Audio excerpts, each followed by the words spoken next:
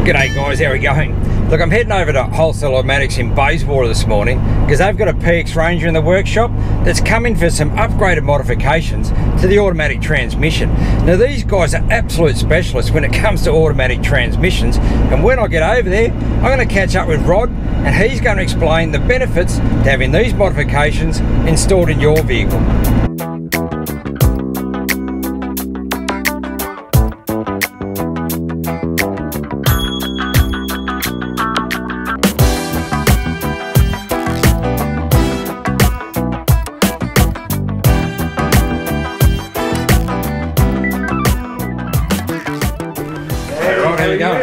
Good mate, that's things. Good, good, yourself? Yeah, good mate, good. Excellent. So what have you got a PX Ranger in the workshop today for some upgrade modifications to automatic?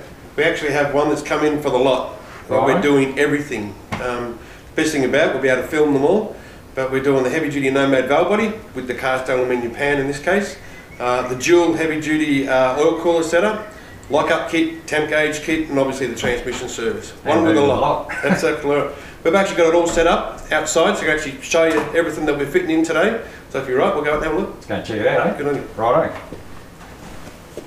All right, we're at the workshop here now. We've got a Ranger there that all these new modifications are going to go into. So what have we got? Well, there's a whole range of things here, and um, we'll go through them one at a time, but just a quick run around. We've got the, the dual heavy-duty transmission oil cooler, we've got the lock-up kit, we've got the temp gauge kit, we've got the heavy-duty Nomad valve body, and the uh, high volume cast aluminium pan. Right? We'll start off with the oil cooler. Um, as we know, most trader utes, including the Ford Ranger and Mazda BT50, don't have an auxiliary cooler at the front whatsoever. Right? They rely on hot water to try and cool hot oil. And has limited success in doing so. Um, it seems to me when the manufacturers made these cars, they seem to think that people are going to carry a bucket and spade around in the back. But not here in Australia. We use them. You know, we use them for camping. We tow heavy things and we tow vast distances. Yep.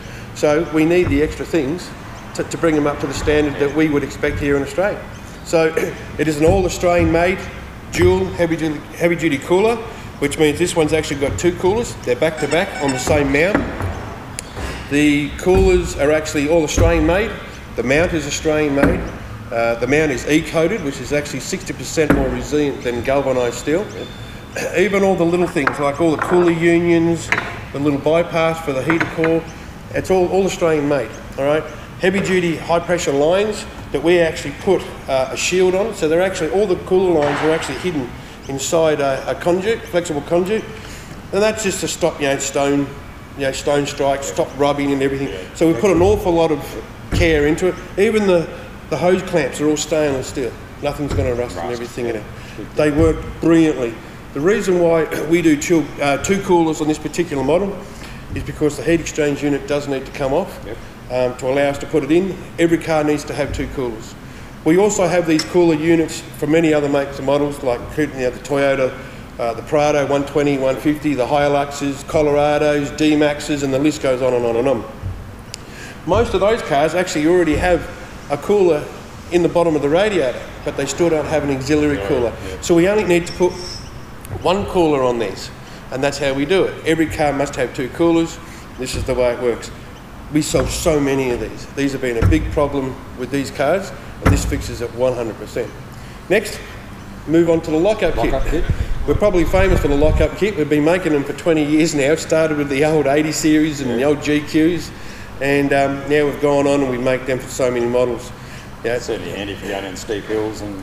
Well, it actually it actually has two main um, uses. One is for engine braking, and that can be used in both high range or low range. Yep. So if you're towing and you're coming down any mountain, you can actually just turn the lock up on and you get 100% engine braking, just like a manual. Yeah, right. Which means that when you are coming down the mountain, you're not relying on the caravan or the trailer's brakes all the way down. And you know, especially if you've got the bigger weights. Like a lot of people now are towing two and a half, three, even more ton of a vehicle, which means on a long downhill, those brakes are actually going to start to fade. And when they fade, guess what? You're left with the car brakes, and if it's wet, you don't want that happening. so they allow you to give an engine brake, and what that does allows the brakes to rest all the way down the hill. You still have the brake assist, but that's how it uses. It's electronically controlled, so we're not just dumping uh, voltage, you know, battery voltage into a solenoid. It's actually all regulated. Um, the switch is wonderful. It's just a touch switch. Turns it on when you want. You turn it off when you when you when you, when you finish with it. The um, the other thing it does is obviously saves you fuel when you're out on the open roads. Uh, this really is only for when you're towing.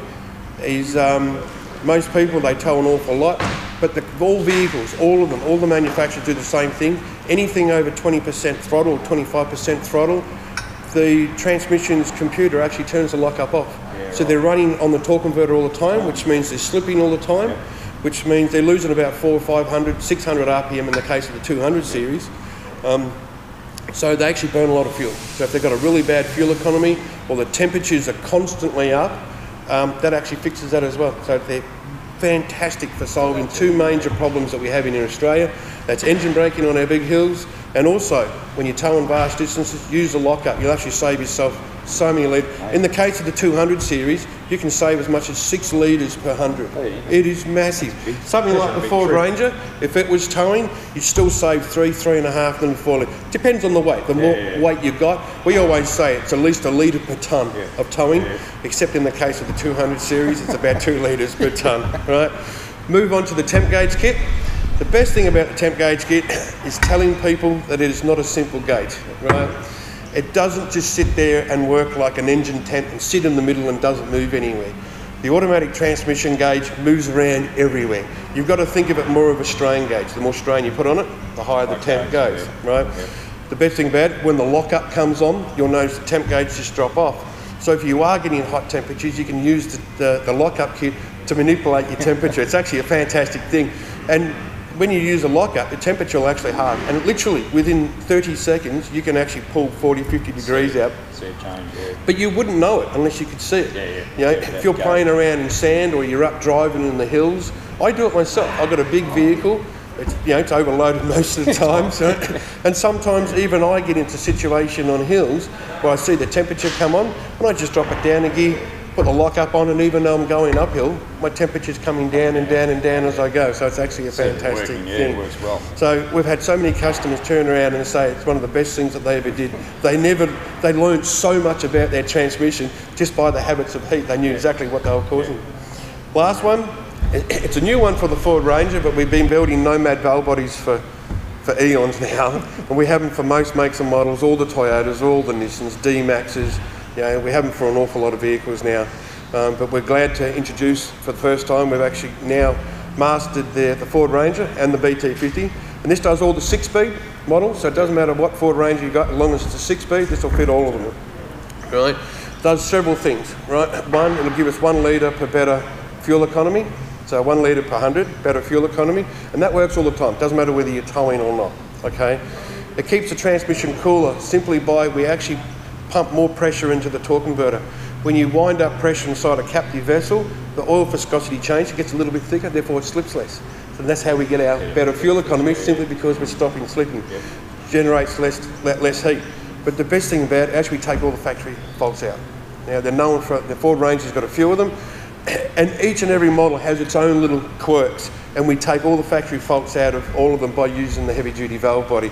At higher line pressures, so we got more clamping pressure to all the clutches and everything, bands if they've got them. Um, more oil flow through the coolers as well, better fuel economy. Um, in this case, we also changed the cooler bypass, where we actually bring the coolers on at a much lower temperature. The Ford Ranger is one of these vehicles that actually has a thermostat for the oil. Not many other makes and models, but they stick. They get so hot and they actually melt it, and the little bead gets stuck in there, and it turns the coolers off. Sometimes permanently, to the detriment of the automatic. yeah. So we actually put a special one in when we're doing the, the valve body. We actually put this in as well, and it actually lets the coolers start off much lower at about 50 degrees. It opens up and starts flowing. At the moment, they're set at about 100 degrees, so they've got a habit of running them really, really hot. But by the time your cooler comes on and you don't have an external oil cooler, the heat exchange unit is just overwhelmed, especially if you're towing, and it's a one-way trip to the side of the road. You know, this actually makes a big difference along with the cooler. Yeah, and we'll be fitting all of these things in the vehicle today. We'll be mainly focusing on filming the valve body, the pan, and the oil cooler, and the temp gauge will be going in as well, and the lockup. But we'll- we'll catch what you know as much as we can in this video clip. Well, the range is sitting there ready to go. It's waiting to get hoisted off the ground and get these new bits in. What say we get it off the ground and get this operation started? I will. We'll get this all done and out. Get cracking.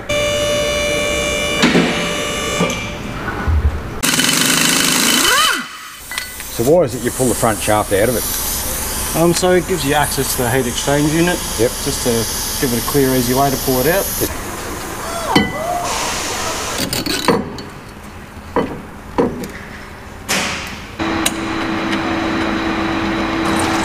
really your best bet at this stage is to just be patient and let as much drain out as possible just to avoid the mess afterwards.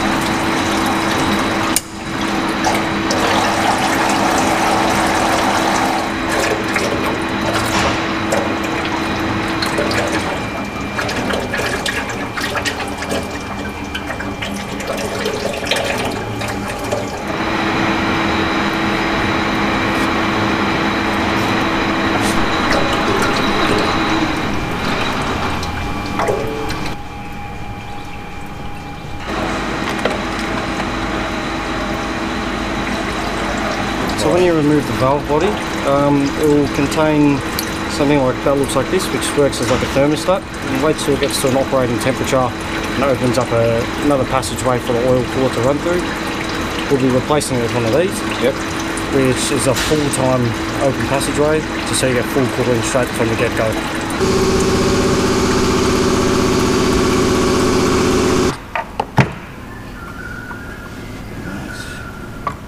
Solenoids will be swapping over into the new valve body. Um, you have to make sure that you keep them in order and change them over one at a time just because they are all different.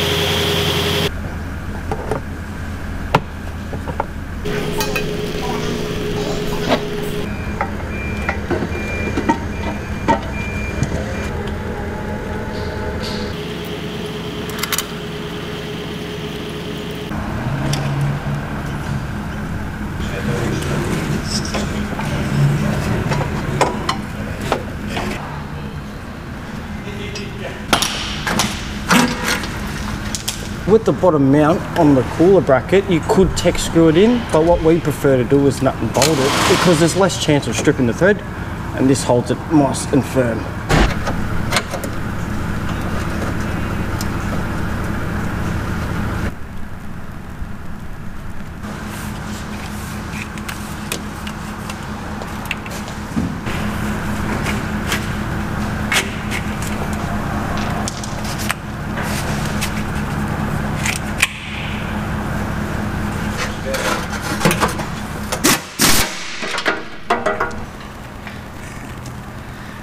You go, guys.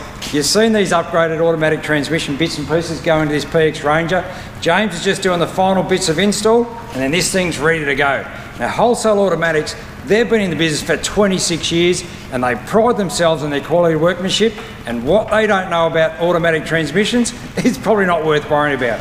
So if you want to find out more how these guys can improve the performance of your automatic transmission in your vehicle, jump on their website, automatictransmission.com.au. And fair chance, I'll see how the bush somewhere.